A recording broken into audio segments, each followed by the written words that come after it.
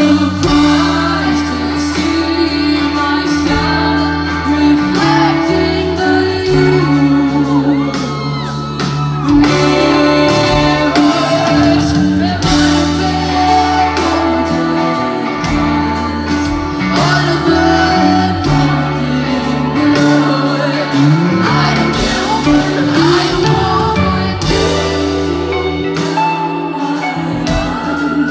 None of this time, none of this